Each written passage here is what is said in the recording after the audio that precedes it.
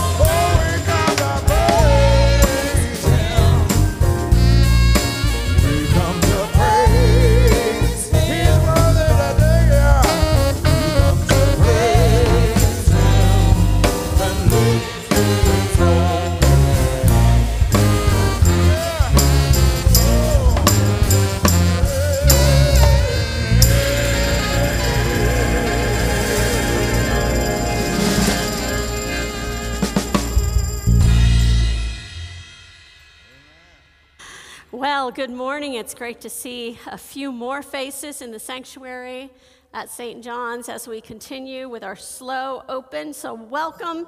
Today we will consider Thomas, the one who had to see in order to believe.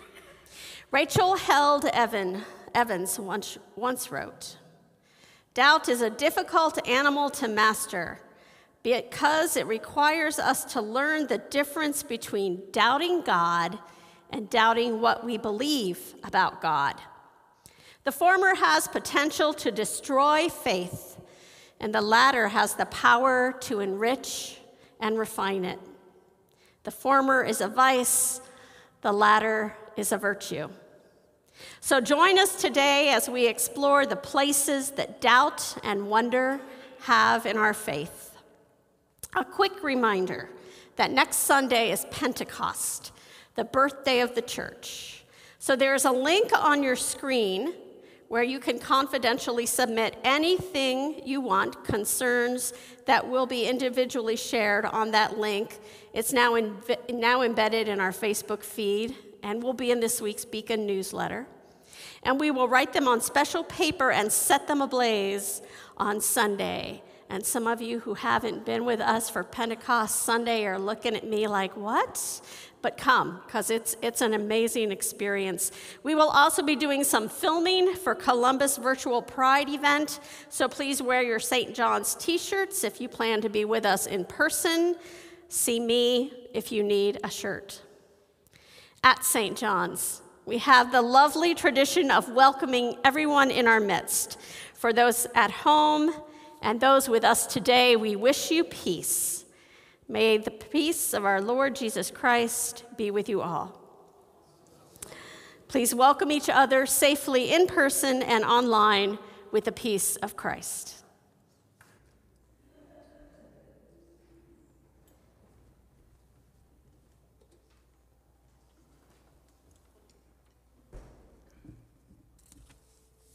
Good morning, everyone. Please join me in the call to worship. Thomas said, Unless I see the mark of the nails and put my hand in his side, I will not believe. We are often skeptical people, driven by our senses, relying on that which we can hear, see, or prove. But our Lord asks us to see the invisible, to trust in the Spirit, to have faith. Lord, give us faith. Lord, help us to be bold in our beliefs. Move us beyond mere trust in ordinary things and open our eyes to what you would have us see. Jesus said, Blessed are those who have not seen and yet have come to believe. Let us worship God with abundant faith.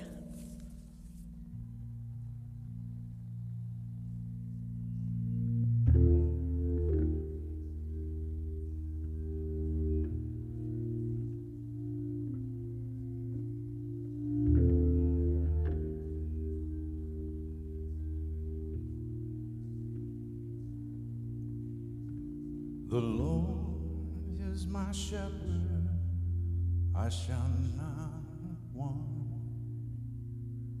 In green pastures, God makes me lie down. God restores my soul, and He leads me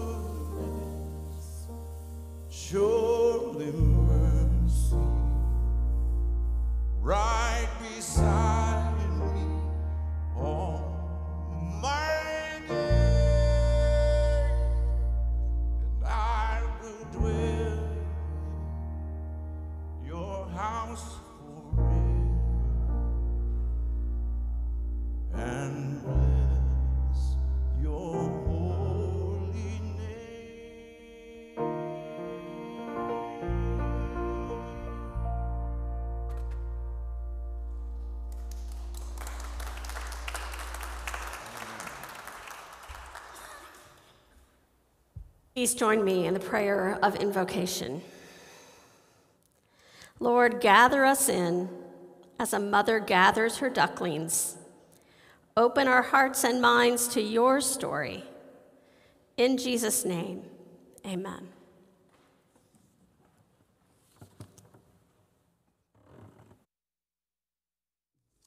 Our reading from the Hebrew Bible today is from Psalm 1. Happy are those who do not follow the advice of the wicked, or take the path that sinners tread, or sit in the seat of scoffers. But their delight is in the law of the Lord, and on his law they meditate day and night. They are like trees planted by streams of water, which yield their fruit in its season and their leaves do not wither. In all that they do, they prosper.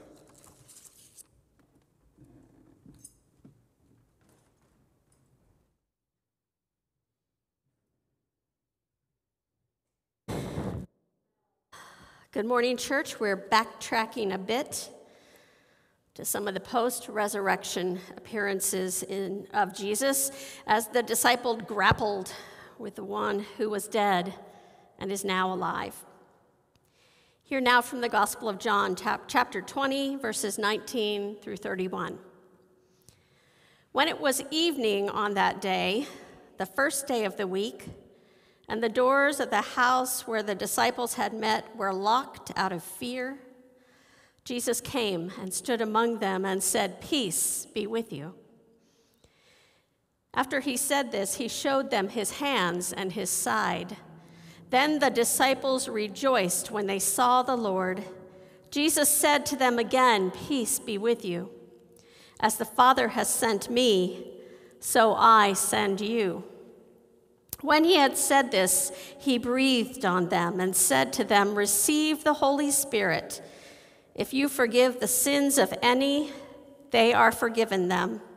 If you retain the sins of any, they are retained. But Thomas, one of the twelve, was not with them when Jesus came. So the other disciples told him, We have seen the Lord. But he said to them, Unless I see the mark of the nails on his hands, and put my finger in the mark of the nails, and my hand in his side, I will not believe. A week later, his disciples were again in the house, and Thomas was with them.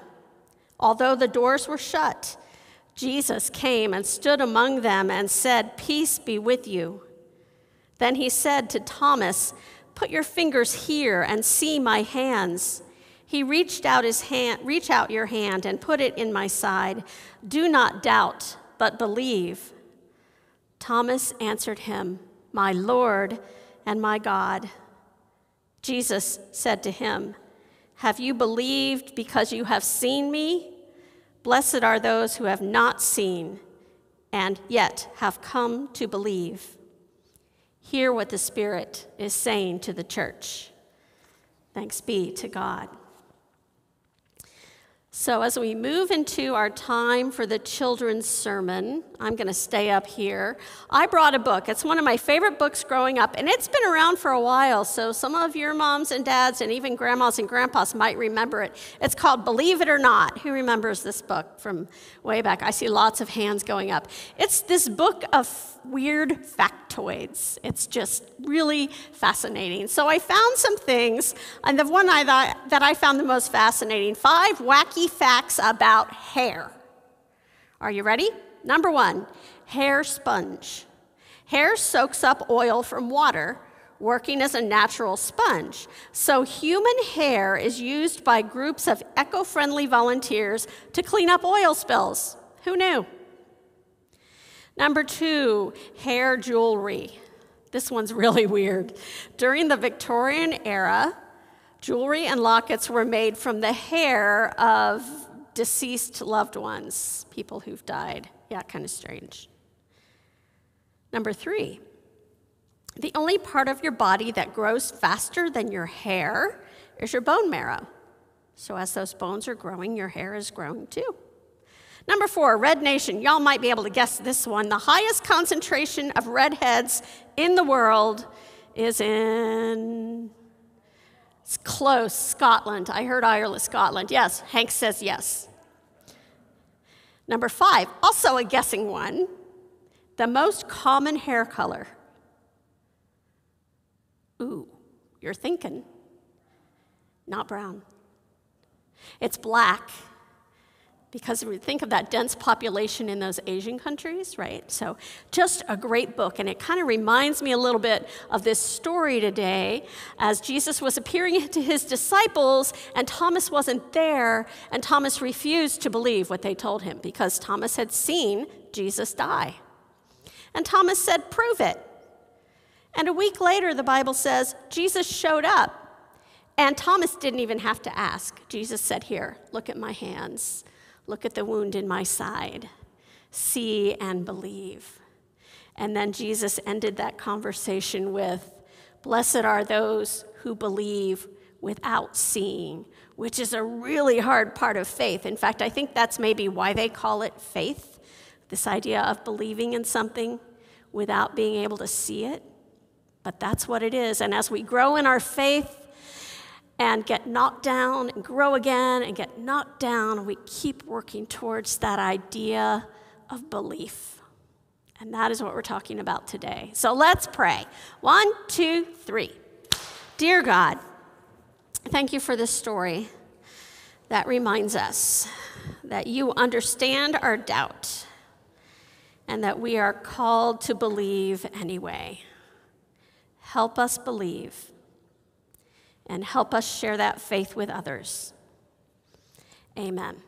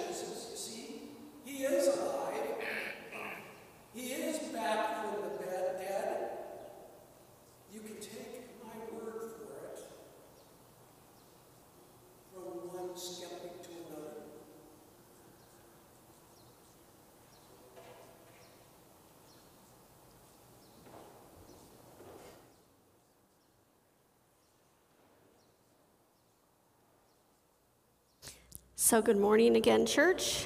My name is Mary Torok, and I serve on staff as Director of Faith Formation. Pastor Jenny is back next week. She is celebrating her daughter Katie's graduation from Heidelberg University today. Congratulations, Katie, on all of your accomplishments.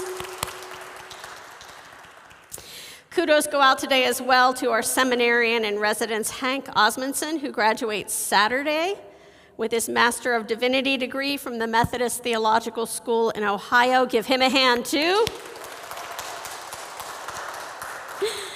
Hank moves on this year to complete his Master of Social Justice degree. I'm happy to be with you today as we gather online and slowly open in person. We have increased our in person capacity to 10%. We are still masking and distancing as we await further guidance from our denominational leaders, but steps are steps.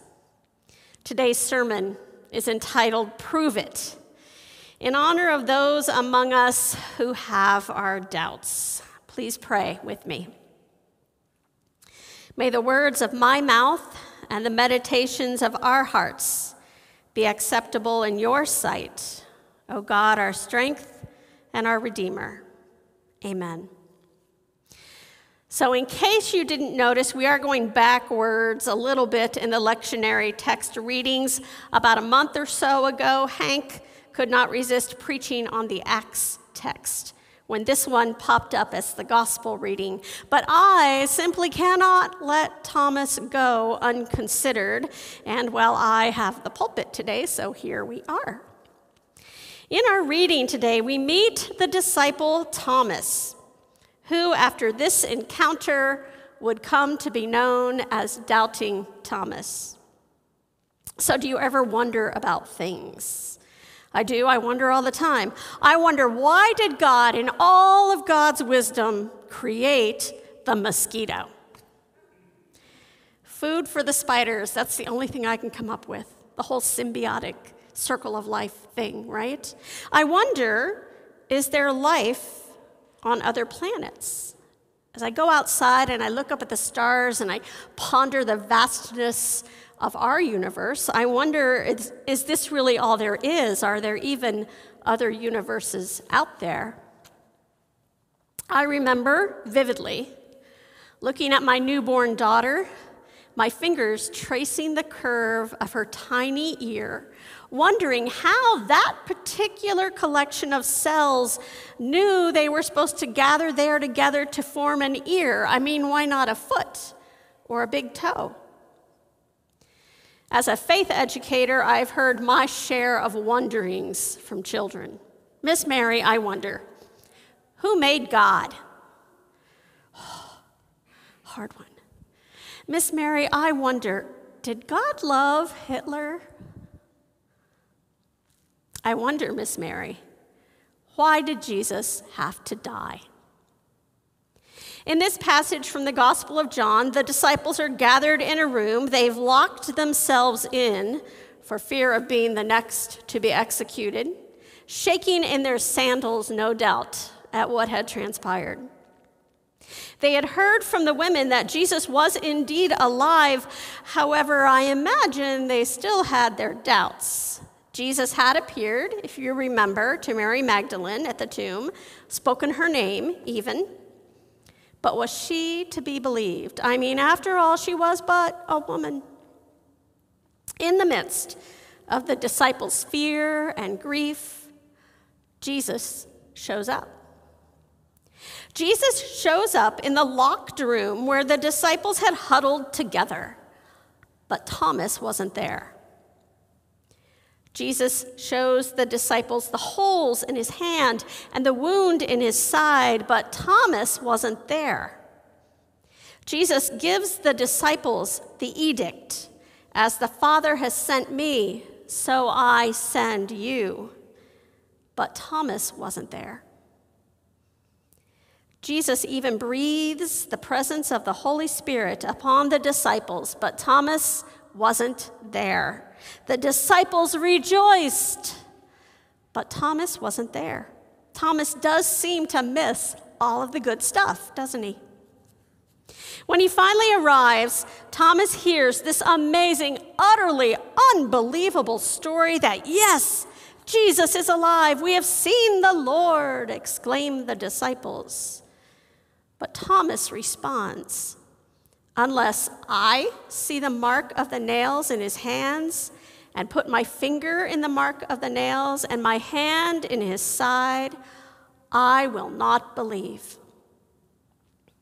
That one who always asks questions, always wonders, always requires absolute proof in order to believe. And who can blame him?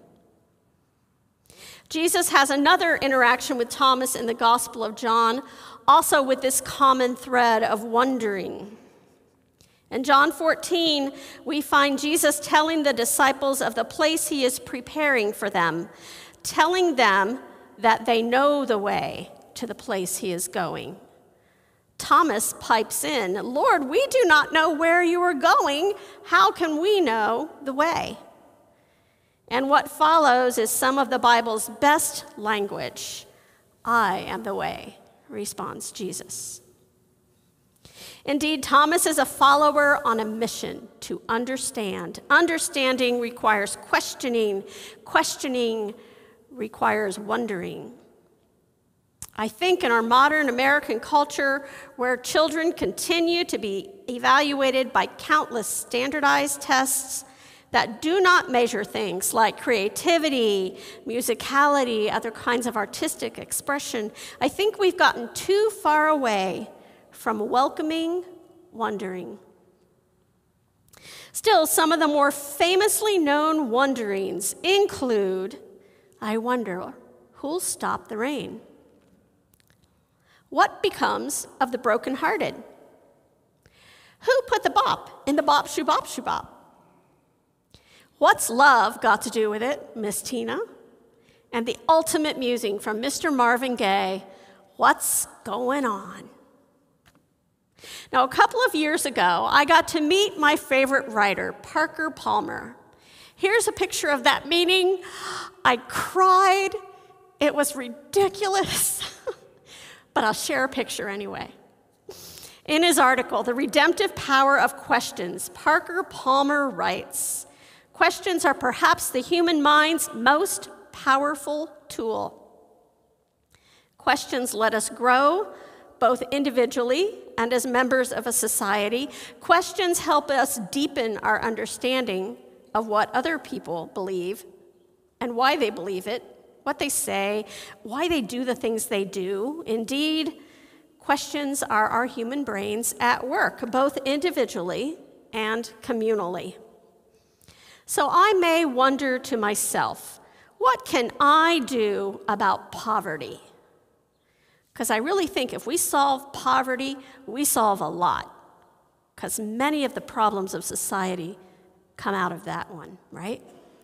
The answers, of course, will be somewhat limited because I'm a one person with one brain and only one set of white, cis, middle class female experiences. But if we gather together as a force of communal power and collective thought, what can we do about poverty? The world opens up, and our communal brains get to work, and the possibilities seem almost endless. Thomas was one person who walked in late. Suddenly overwhelmed by the story of the risen Jesus coming from this community of his. It made no sense, and yet, the shared lived experience being expressed to him just had to have some sort of value because it was coming from his own community.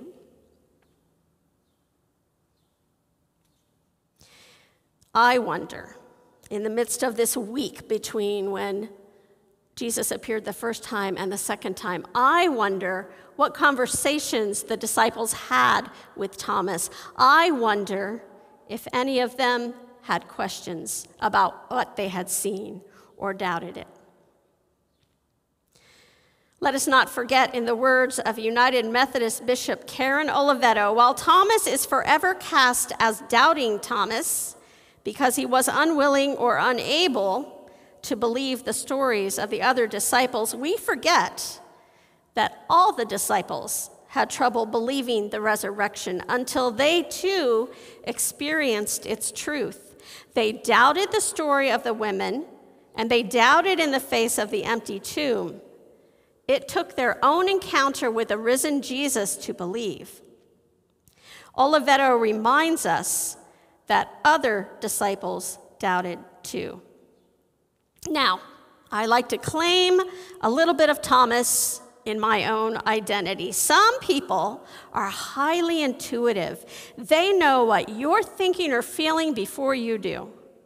They ask the perfect, deep, heartfelt questions that draw you out of your own lockdown to help people see what they see. I am not one of those people. I like to see it, smell it, taste it, touch it, and hear it before I even consider it. So, even in the midst of his whole community exclaiming, We have seen the Lord, Thomas replies, with two unspoken words prove it. Jesus shows up, and without even a request from Thomas, he freely shows Thomas his hands and his side. It's almost as if Jesus knew that Thomas did not believe his fellow disciples. Jesus is not upset that Thomas doesn't believe, he's not angry or even annoyed that Thomas has asked for proof. Jesus shows up with compassion and kindness in tow. Compassion and kindness do not make someone beg. Compassion and kindness don't need the whole story in order to offer comfort. Compassion and kindness just show up and give people what they need. With the start of the pandemic and some shifts in leadership, I was put in charge of the largest table. Every, every Wednesday for years, we feed the homeless and marginally housed at the largest table, or TLT. We made the shift fairly seamlessly to our current model of TLT to go. We have engaged other churches, local restaurants, and nearby communities who provide food each week. We have empowered several new people both within and beyond our church community, to help prepare and serve the food. We have done all of this, but never once have we put a condition on who gets fed.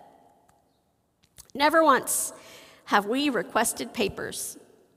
Never once have we drug tested anyone. Never once have we asked whether or not they have a personal relationship with Jesus Christ. Never once and neither does Jesus.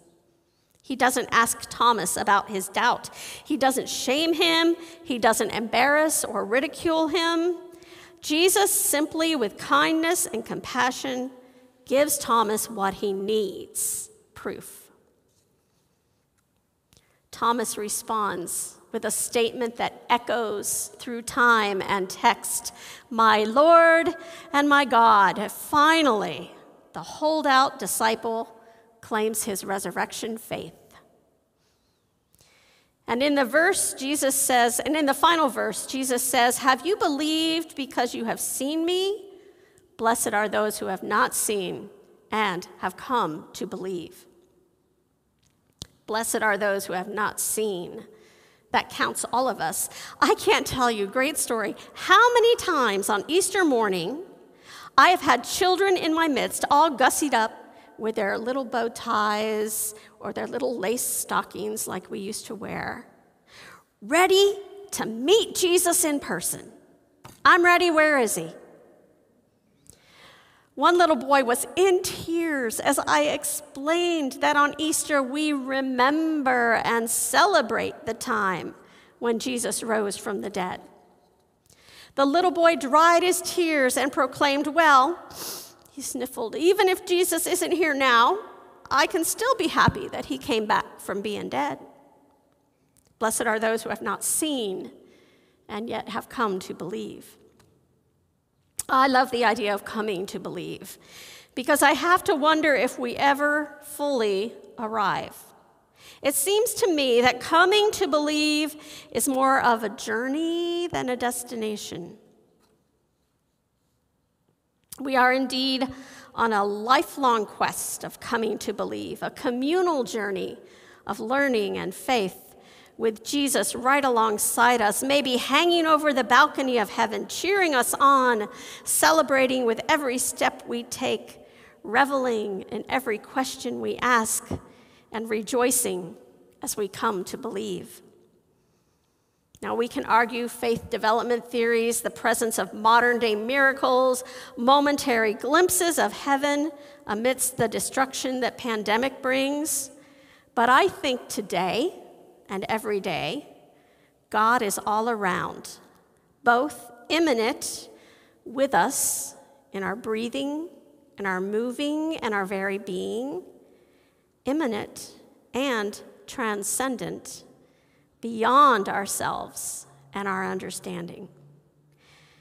It is this immanent and transcendent God that nudges us toward a growing and thoughtful faith, full of both doubt and wonder. And I am so happy to be on this journey with you. Please pray with me.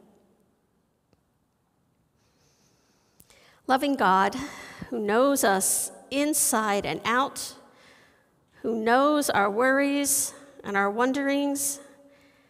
Be with us as we move forward to live our lives in the midst of your grace and acceptance. And help us help each other, always welcoming wonder. In Jesus' name, amen.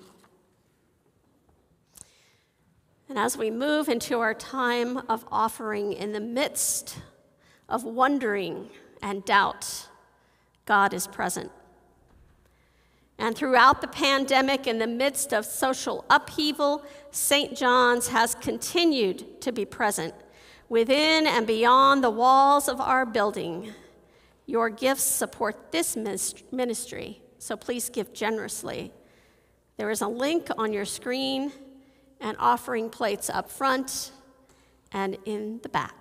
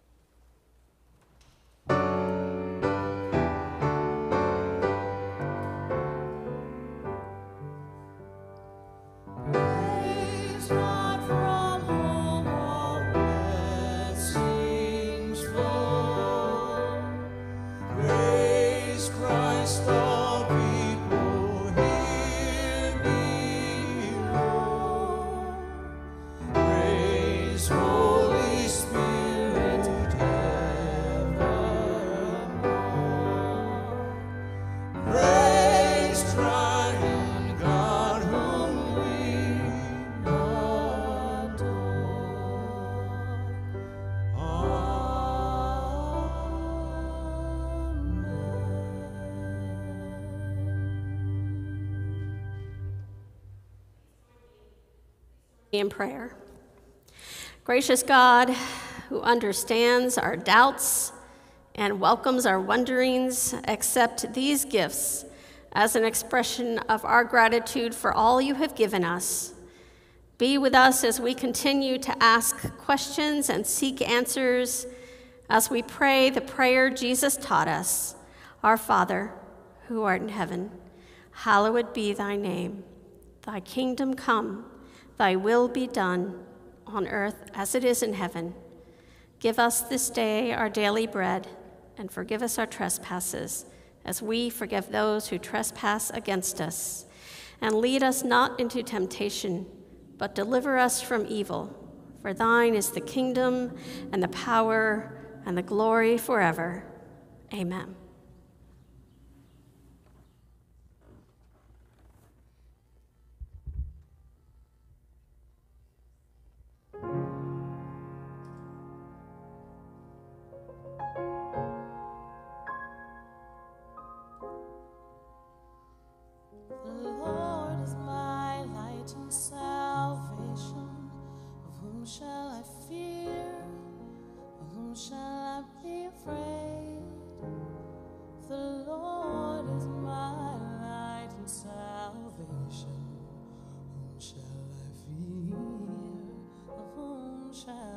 afraid.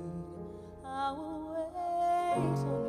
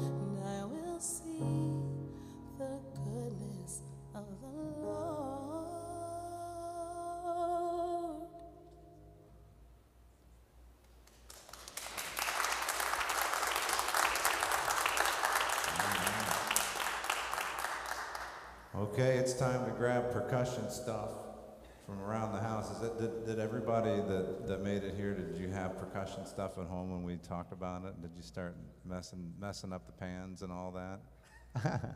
yeah, all right, well, let's do it. Let's get, let's get down here. They'll know us by our love. All right, here we go.